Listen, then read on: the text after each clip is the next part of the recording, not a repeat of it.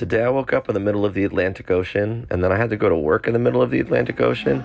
The only problem is that while we were playing, somebody saw a whale jump out of the water and then everybody got up and started looking for it. The captain came over the loudspeaker and it shuts off our sound system and he just spoke for like 10 minutes all about the whale. I kept trying to look for it, but I only ever saw the splash and I never saw the whale.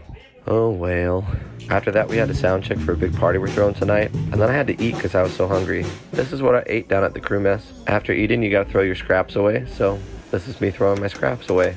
And now I just go back to my room and sit and wait to go to work again.